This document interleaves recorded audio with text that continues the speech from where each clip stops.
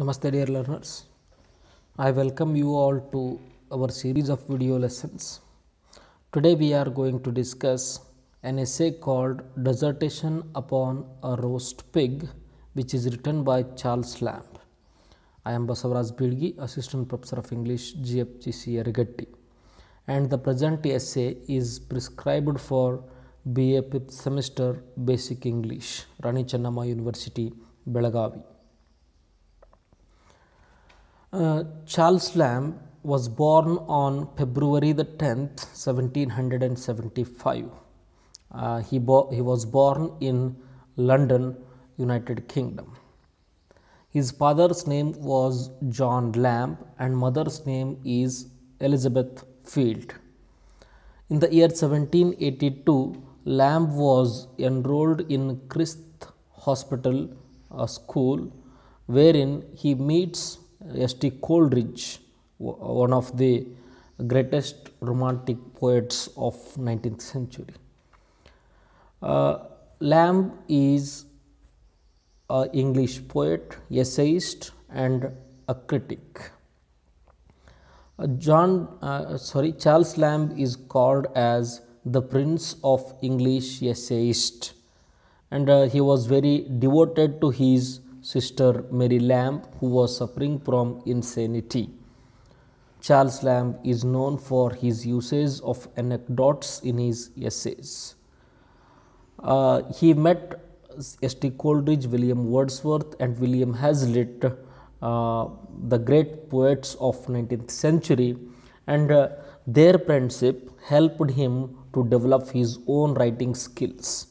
He died on December the 27th, 1834. Now we will see uh, some of the works of Charles Lamb. He has written many poems and they are published under the title Blank Verse in the year 1798. He has written tales from Shakespeare, The Adventures of Ulysses, Eliana, Essays of Elia, and the last essays of Elia in the year 1833. Uh, now we will discuss the characters of the essay. They are Bobo and Hoti. Bobo is the son and Hoti is the father in the essay. Now we will see what is the theme of the essay. Charles Lamb begins the essay with a humorous anecdote which his friend Thomas Manning seems to have shared with him. Charles Lamb ಅವರ ಸ್ನೇಹಿತರಾದಂತಹ Thomas manning ಅನ್ನುವಂಥವರು ಒಂದು ಕಥೆಯನ್ನು ಹೇಳಿರ್ತಾರೆ Charles lamb ಅವರಿಗೆ ಆ ಕಥೆಯ ಕಥೆಯ ಮೂಲಕ ಚಾರ್ಲ್ಸ್ ಲ್ಯಾಂಬ್ ಈ ಪ್ರೆಸೆಂಟ್ ಎಸ್ಸೆಯನ್ನು ಬರೀತಾರೆ The anecdote uh, which was told to Charles Lamb by Thomas Manning reveals how the practice of roasting pigs began in primitive times with an accidental event in a Chinese village. The events that happen in the essay are uh, uh, were happened in a Chinese village and uh, ಒಂದು ಹಳೆಯ ಗಾದೆಯ ಮೂಲಕ Thomas manning ಅವರು ಆಹಾರವನ್ನು ಯಾವ ರೀತಿ ಬೇಯಿಸಿ ತಿನ್ನಬೇಕು ಅನ್ನುವಂತಹ ಪದ್ಧತಿ ಚೈನ್, ಚೀನಾದಲ್ಲಿ ಪ್ರಾರಂಭ ಆಯಿತು ಅನ್ನುವಂತಹ ಒಂದು ಕಥೆಯನ್ನು ಚಾರ್ಲ್ಸ್ ಲ್ಯಾಂಬ್ ಅವರಿಗೆ ಹೇಳಿರುತ್ತಾರೆ. ಆ ಕಥೆಯನ್ನು ಕುರಿತು ಚಾರ್ಲ್ಸ್ ಲ್ಯಾಂಬ್ ಅವರು ಈ ಎಸೆಯನ್ನು ಬರೀತಾರೆ. Charles Lamb gives an extremely humorous account of the event. Uh, and uh, Charles Lamb also expresses his intense feeling and passion for a roasted pig in the essay. Charles Lamb says that though he would like to share all good things of life with his friends, he would never like to part with a roast pig even out of utmost compulsions of generosity. Charles Lamb says, I will share all the things with my friends, but not the roast pig. And uh, he expresses his love for roasted pig and uh, he expresses his uh, love for the meat or the pork. Now we will see how the story uh, develops, how the essay develops. Uh, according to a book of Confucius, people in ancient time ate raw meat. People did not know uh, uh, cooking and uh, eating the roasted food.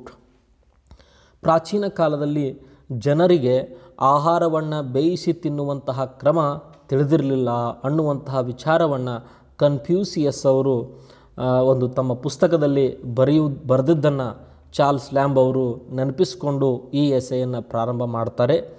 And in Confucius book there is a mention of cook's holiday ಏನು ಚಾ ಕನ್ಫ್ಯೂಸಿಯಸ್ ಅವರು ಬರೆದಿರುವಂತಹ ಪುಸ್ತಕದಲ್ಲಿ cooks holiday ಅನ್ನುವಂತಹ ಒಂದು ಒಂದು event ಬಗ್ಗೆ ಹೇಳ್ತಾರೆ. Because of this we understand that the people in ancient time did not know how to cook the food and uh, the people did not know that uh, the roasted food tastes better than raw food. Uh, and then Charles Lamb gives an account of an accidental invention of cooking the food. As I told you, there are two people in the story one is Bobo and another one is Hoti. Bobo the son of Hoti, uh, wa- was once playing around his hut. Bobo ಹೋಟಿಯ ಮಗನಾದಂತಹ Bobo ಒಂದು ದಿನ ಅವರ ಹಟ್ ಏನಿರ್ತದೆ ಚಪ್ಪರ ಇರ್ತದೆ. ಆ ಚಪ್ಪರದ ಸುತ್ತಲೂ ಆಟ ಆಡ್ತಿರ್ತಾನೆ. And Hoti was a swine farm owner Hoti ಅನ್ನುವಂತಹ ವ್ಯಕ್ತಿ he was a swine farmer ಹಂದಿಗಳನ್ನು ಸಾಕುವಂತಹ ರೈತ ಹೋಟಿಯಾಗಿರ್ತಾನೆ ಅವನ ಮಗ Bobo was playing around the hut in his farm and Bobo once was given the responsibility of taking care of the swine farm in his hut. One day, what happens? Hoti happens to go somewhere else from his farm, and uh, on that occasion, uh, Hoti asked his son Bobo to look after the swine farm till he comes back ತಾನು ಮರಳಿ ಬರುವವರೆಗೂ ಚಪ್ಪರದಲ್ಲಿರುವಂತಹ ದಡ್ಡಿಯಲ್ಲಿರುವಂತಹ ಹಂದಿಗಳನ್ನು ನೋಡಿಕೋ ಅಂತ ತನ್ನ ಮಗನಿಗೆ ಹೇಳಿ ಹೋಗಿರ್ತಾನೆ ಯಾರು? ಹೋಟಿ ಹೇಳಿ ಹೋಗಿರ್ತಾನೆ ಆವಾಗ what happens Bobo was a mischievous child Bobo ಹೋಟಿಯ ಮಗ ಬಹಳ ಏನು ಉಡಾಳಾಗಿರ್ತಾನೆ ಹಾಗಾಗಿ what he does is on account of his mischievous the farm which is also their residence got fire that made nine young swine burn to to death uh, when Bobo was playing around the hut, he happens to put fire to the hut, and uh, there were nine pigs in the hut, and all of them burned to death. ಅವರ ದೊಡ್ಡಿಯಲ್ಲಿ ಇರುವಂತಹ ಒಂಬತ್ತು ಹಂದಿಗಳು ಸುಟ್ಟು ಕರಕಲಾಗಿಬಿಡುತ್ತವೆ. ಬೊಬೋ ಆಟವನ್ನು ಆಡುವಂತಹ ಸಮಯದಲ್ಲಿ ಏನೋ by mistake ಆಗಿ ತನ್ನ, ತಾನು ಇರುವಂತಹ ಚಪ್ಪರಿಗೆ ಹಟ್ಟಿಗೆ ಬೆಂಕಿಯನ್ನು ಹಚ್ತಾನೆ ಹಚ್ಚಿದಾಗ ಆ ಚಪ್ಪರದಲ್ಲಿರುವಂತಹ ಒಂಬತ್ತು ಹಂದಿಗಳು ಮರಣವನ್ನು ಹೊಂದಿಬಿಡುತ್ತವೆ. And when Bobo was thinking how to console his father Bobo was very much afraid that uh, his father may beat him or his father may uh, scold him. ತಂದೆ ಬೈತಾನೆ ಬಡಿತಾನೆ ಅಂತ ಹೆದರ್ತಿರ್ತಾನೆ ಅವಾಗ he comes to know that a delicious smell is coming from the hut ಆ ಸುಟ್ಟು ಕರಕಲಾಗಿರುವಂತಹ ಹಂದಿಯ ದೊಡ್ಡಿಯಿಂದ ಏನೋ ಒಂದು ರೀತಿಯಾದಂತಹ ಸುಮಧುರ ವಾಸನೆ ಬರ್ತಾ ಇರ್ತದೆ ಅದನ್ನು ಅದು ಅವನ ಮೂಗಿನ ಮೇಲೆ ಬೀಳ್ತದೆ. And when his father comes back his father starts beating his son ಅವನ ತಂದೆ ಮರಳಿ ತನ್ನ ಫಾರ್ಮಿಗೆ ತನ್ನ ಹೊಲಕ್ಕೆ ಬಂದಾಗ he looks at the pa at the hut and he looks at the burnt pigs and starts scolding his son starts beating his son ತನ್ನ ಮಗನನ್ನು ಬಡಿಯುವುದಕ್ಕೆ, ಬೇಯುವುದಕ್ಕೆ ಪ್ರಾರಂಭ ಮಾಡ್ತಾನೆ.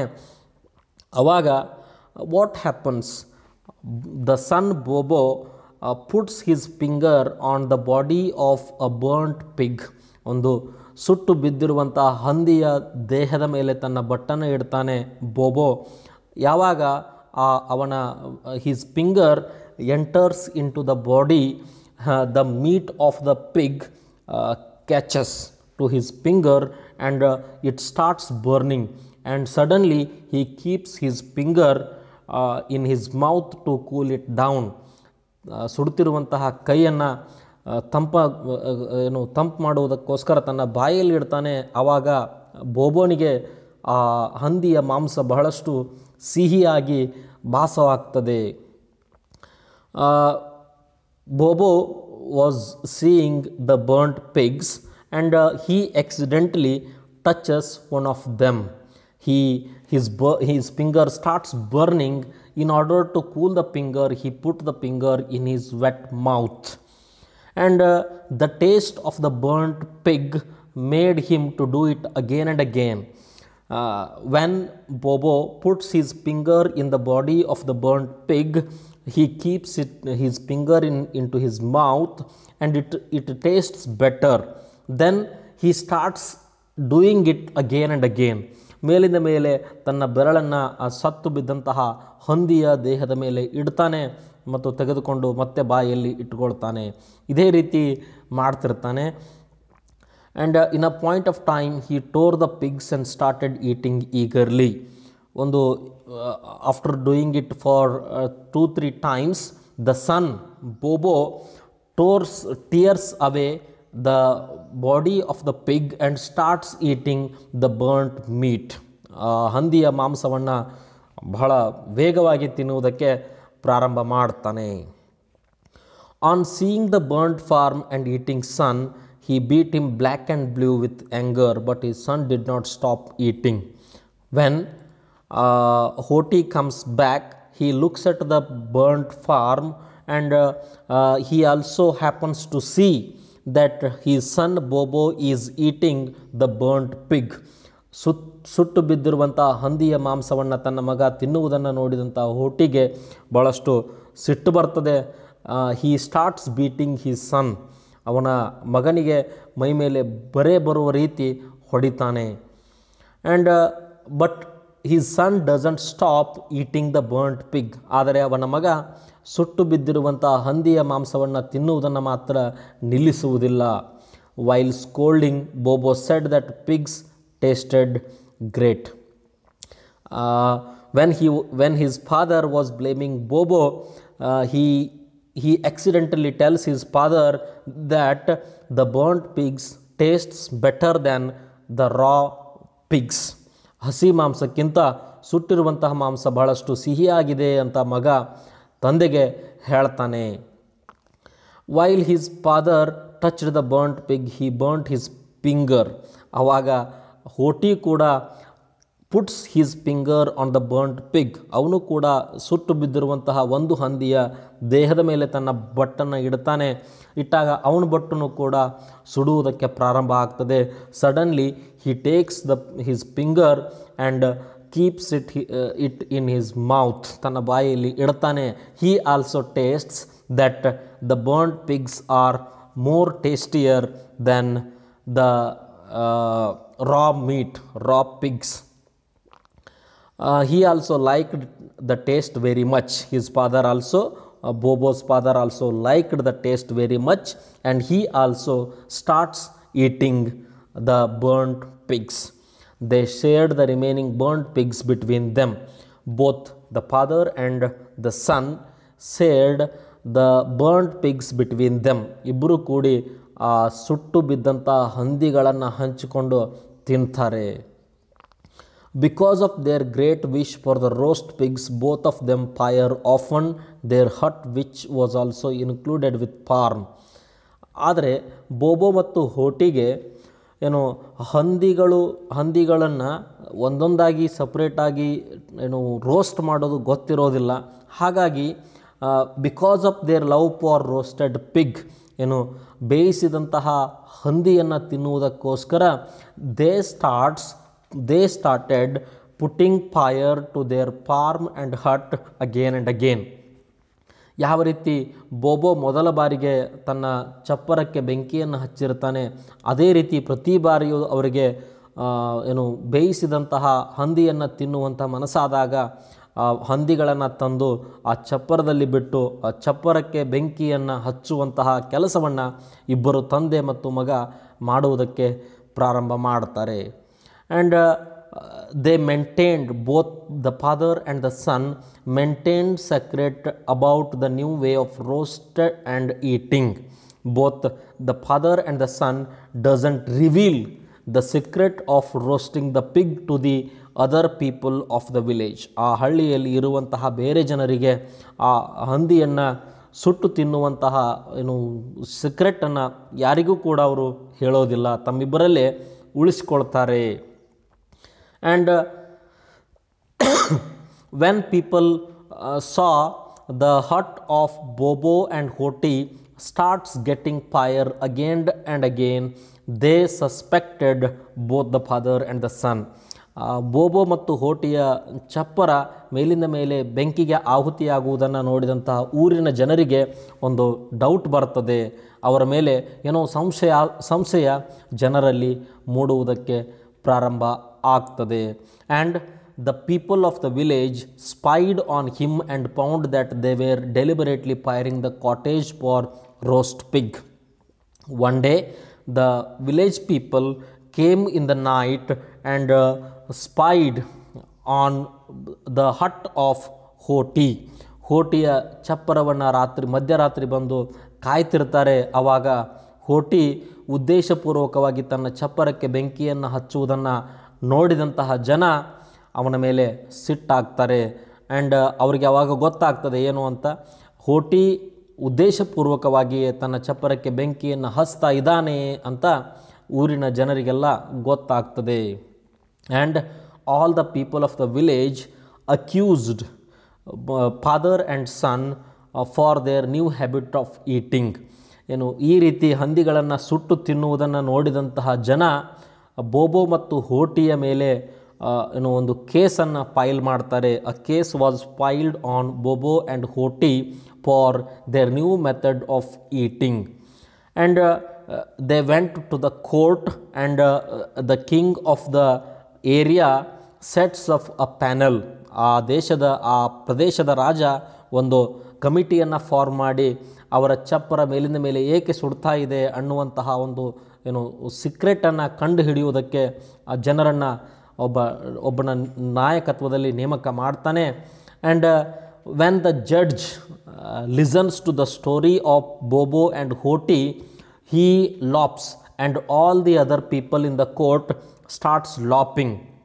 but uh, after hearing the taste o- o- about the taste of the burnt pig one day the judge of the court also puts fire to his own hut ಆ ಕೋರ್ಟಿನ, ಯಾವ ಕೋರ್ಟ್ನಲ್ಲಿ ಬೋಬೋ ಮತ್ತು ಹೋಟಿಯ ಮೇಲೆ ಕೇಸ್ ಫೈಲ್ ಆಗಿರ್ತದೆ ಆ ಕೋರ್ಟಿನ ನ್ಯಾಯಾಧೀಶರು ಕೂಡ ಒಂದು ದಿನ ತಮ್ಮ ಚಪ್ಪರಕ್ಕೆ ಬೆಂಕಿಯನ್ನು ಹಚ್ತಾರೆ and he also eats the roast pig ಆ ಕೋರ್ಟಿನ ಮುಖ್ಯ ನ್ಯಾಯಾಧೀಶರು ಕೂಡ ಸುಟ್ಟಿರುವಂತಹ ಹಂದಿಯನ್ನು ತಿಂದು ತಿಂತಾರೆ. ಆವಾಗ ಅವ್ರಿಗೂ ಕೂಡ ಅದು ಬಹಳಷ್ಟು ಟೇಸ್ಟ್ ಅನ್ನಿಸ್ತದೆ. ಆವಾಗ ಹೀ uh, Bobo and Hoti from the accusation. ಬೋಬೋ ಮತ್ತು ಹೋಟಿಯ ಮೇಲೆ ಜನರು ನೀಡಿರುವಂತಹ ಕೇಸನ್ನು ಸಸ್ಪೆಂಡ್ ಮಾಡ್ತಾರೆ judge because he also tasted the burnt pig once. As the local people came to know about the taste of roast pig, they themselves burnt their own cottage to eat the roast pig. This led to homelessness. ಇದಾದ ನಂತರ ಊರಿನ ಎಲ್ಲ ಜನರಿಗೂ ಕೂಡ all the people in the village learns how tastier the burn pig is ಸುಟ್ಟಿರುವಂತಹ ಹಂದಿಯ ಮಾಂಸ ಎಷ್ಟು ಸಿಹಿಯಾಗಿರುತ್ತದೆ ಅಂತ ಇಡೀ ಊರಿನ ಜನರಿಗೆ ಗೊತ್ತಾಗ್ತದೆ. ಆದರೆ ಅವರಿಗೆ ಹಂದಿಯನ್ನು ಕುಕ್ ಮಾಡುವಂತಹ ಪದ್ಧತಿ ಗೊತ್ತಿರುವುದಿಲ್ಲ. ಹಾಗಾಗಿ ಊರಿನಲ್ಲಿರುವಂತಹ, ಆ ಹಳ್ಳಿಯಲ್ಲಿರುವಂತಹ ಎಲ್ಲ ಜನರು ತಮ್ಮ ತಮ್ಮ ಚಪ್ಪರಗಳಿಗೆ ಬೆಂಕಿಯನ್ನು ಹಚ್ಚುವುದಕ್ಕೆ ಪ್ರಾರಂಭ ಮಾಡ್ತಾರೆ. ಅವರಿಗೆ ಏನು, ಬೇಯಿಸಿದ ಆಹಾರವನ್ನು ತಿನ್ನುವಂತಹ ಆಸೆ ಆಯಿತು ಅಂತಂದರೆ, ಹಂದಿಗಳನ್ನು ತಂದು ತಮ್ಮ ಚಪ್ಪರದಲ್ಲಿ ಬಿಟ್ಟು, ಆ ಚಪ್ಪರಕ್ಕೇ ಬೆಂಕಿ ಹಚ್ಚುವಂಥ ಕೆಲಸ ಇಡೀ ಹಳ್ಳಿಯಲ್ಲಿ ಪ್ರಾರಂಭ ಆಗ್ತದೆ. And this incident led for the homelessness in the Chinese village. ಊರಿನಲ್ಲಿರುವಂತಹ ಎಲ್ಲ ಮನೆಗಳು ಸುಡುತ್ತಿರುವಾಗ, ಸುಟ್, ಸುಟ್ಟಾದ ಮೇಲೆ ಜನರಿಗೆ ಮನೆಗಳೇ ಇಲ್ಲದೆ ಇಲ್ಲದಂತೆ ಆಗ್ತದೆ ಅಂತ ಚಾರ್ಲ್ಸ್ ಲ್ಯಾಂಬ್ ಅವರು ಹೇಳ್ತಾರೆ. And there was a wise man in the village and he instructs the people of the village the way of roasting the pigs in different way ಆದರೆ ಆ ಊರಿನಲ್ಲಿರುವಂತಹ ಒಬ್ಬ ಬುದ್ಧಿವಂತ ವ್ಯಕ್ತಿ ಜನರಿಗೆ ನೀವು ಹಂದಿಯನ್ನು ಬೇಯಿಸಿ ತಿನ್ನಬೇಕು ಅಂತಂದರೆ ನಿಮ್ಮ ಚಪ್ಪರಗಳಿಗೆ ಬೆಂಕಿ ಹಚ್ಚುವಂತಹ ಅವಕ್ಷ ಅವಶ್ಯಕತೆ ಇಲ್ಲ. ನೀವು ಒಂದು ಹಂದಿಯನ್ನು ತೆಗೆದುಕೊಂಡು ಅದನ್ನು ಮಾಂ ಅದರ ಮಾಂಸವನ್ನು ಕಟ್ ಮಾಡಿ ಅಥವಾ ತುಂಡು ಮಾಡಿ ಒಂದು ಪಾತ್ರೆಯಲ್ಲಿ ಹಾಕಿಯೂ ಕೂಡ ಬೇಯಿಸಿ ತಿನ್ನಬಹುದು ಅನ್ನುವಂತಹ ಒಂದು ಸಜೆಷನನ್ನು ಆ ಊರಿನ ಒಬ್ಬ ಜಾನ ವ್ಯಕ್ತಿ ಕೊಟ್ಟಾದ ಮೇಲೆ ಆ ಊರಿನಲ್ಲಿ ಚಪ್ಪರಗಳು ಸುಡುವುದು ಕಡಿಮೆಯಾಗ್ತದೆ and Lamb says uh, lamb a grown up but the tender pigs should be served as delic- delicacy on the tables. Charles Lamb ಅವರು ತಮ್ಮ ಪ್ರೀತಿಯನ್ನು ಸುಟ್ಟಿರುವಂತಹ ಹಂದಿಗಳ ಮಾಂಸದ ಪ್ರೀತಿಯನ್ನು ವ್ಯಕ್ತಪಡಿಸುತ್ತಾ ಹೇಳ್ತಾರೆ. ಏನು? ಎಳೆಯ ಹಂದಿಗಳು ಬಲಿತಂಥ ಹಂದಿಗಳಿಗಿಂತ ಭಾಳಷ್ಟು ಟೇಸ್ಟಿಯಾಗಿರ್ತವೆ ಅಂತ ಚಾರ್ಲ್ಸ್ ಲ್ಯಾಂಬ್ ಅವರು ಹೇಳ್ತಾರೆ there is no flavour comparable to the crisp not over roasted crackling he says the tender pigs sweets better than the grown up pigs And he also says, pineapple is an excellent delicacy but not satisfy our hunger. Till then, the people of the village or the Chinese people were eating fruits and other things, and uh, uh, they were eating raw meat. And uh, Charles Lamb says, pineapple is very delicate and it, it is very tastier, but uh, uh, the fruit doesn't satisfy our hunger. And uh, Charles Lamb remembers an incident which had happened when he was a child. One day, Charles Lamb was walking down the street ತನ್ನ ಓಣಿಯಲ್ಲಿ ನಡೆದು ಹೋಗ್ತಾ ಇರುವಾಗ he comes across to a starving beggar. ಒಬ್ಬ ಭಿಕ್ಷುಕನನ್ನು ನೋಡಿರ್ತಾನೆ and Charles Lamb had two cakes in his hand ತನ್ನ ಕೈಯಲ್ಲಿ ಎರಡು ಕೇಕ್ಗಳಿರ್ತವೆ and Charles Lamb gives the cakes to the beggar. ಅಲ್ಲಿ ಇರುವಂತಹ ಒಬ್ಬ ಭಿಕ್ಷುಕನಿಗೆ ತನ್ನ ಕೈಯಲ್ಲಿರುವಂತಹ ಎರಡೂ ಕೇಕ್ಗಳನ್ನು ಚಾರ್ಲ್ಸ್ ಲ್ಯಾಂಬ್ ಕೊಟ್ಟಿರ್ತಾನೆ. But he feels very sorry for giving his favourite cake to the beggar. ಆ ಭಿಕ್ಷುಕನಿಗೆ ತನ್ನ ಕೇಕ್ಗಳನ್ನು ಕೊಟ್ಟಾದ ಮೇಲೆ ಚಾರ್ಲ್ಸ್ ಲ್ಯಾಂಬ್ ಅವರಿಗೆ ಅನ್ನಿಸ್ತದೆ ನಾನು ಎರಡೂ ಕೇಕ್ಗಳನ್ನು ಕೊಡಬಾರ್ದಿತ್ತು, ಒಂದೇ ಕೇಕನ್ನು ಕೊಟ್ಟು ಒಂದು ನಾನು ತಿನ್ನಬೇಕಿತ್ತು ಅಂತ ಅವರಿಗೆ ಅನ್ನಿಸ್ತದೆ and Charles Lamb says that he will distribute the gifts and presents among his friends, but not a piece of roasted pig.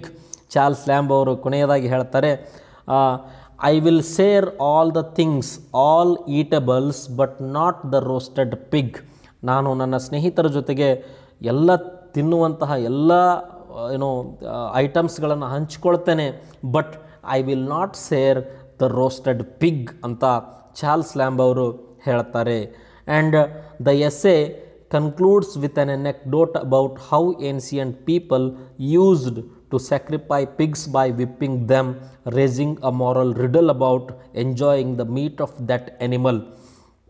Later on, at the end of the essay, Charles Lamb gives another example how uh, the pigs in ancient times were beaten and they were killed to satisfy the hunger of the people in the name of God ನಾವು ಕೂಡ ಹಲವಾರು ಪ್ರಾಣಿಗಳನ್ನು ದೇವರಿಗೆ ಬಲಿ ಕೊಡುವಂತಹ ಪದ್ಧತಿಯನ್ನು ಆಚರಿಸ್ತೇವೆ. ದೇವರಿಗೆ ಪ್ರಾಣಿಗಳನ್ನು ಬಲಿ ಕೊಡುವುದು, ಬರಿ, ಬಲಿ ಕೊಡುವುದಕ್ಕೆ ಕಾರಣ ಏನು ಅಂತಂದರೆ, ಮನುಷ್ಯನಿಗೆ ಆ ಪ್ರಾಣಿಯ ದೇಹದ ಮಾಂಸವನ್ನು ತಿನ್ನುವಂಥ ಆಸೆ ಆಗಿರ್ತದೆ. ಹಾಗಾಗಿ ಮನುಷ್ಯರು ದೇವರ ಹೆಸರಿನಲ್ಲಿ ಪ್ರಾಣಿಗಳನ್ನು ಬಲಿ ಕೊಟ್ಟು ತಮ್ಮ ಆಸೆಯನ್ನು ನೀಗಿಸ್ಕೊಳ್ತಾರೆ ಅನ್ನುವಂತಹ ಮಾತಿನ ಮೂಲಕ Charles Lamb concludes the essay. Thank you very much. We will meet again in our next class.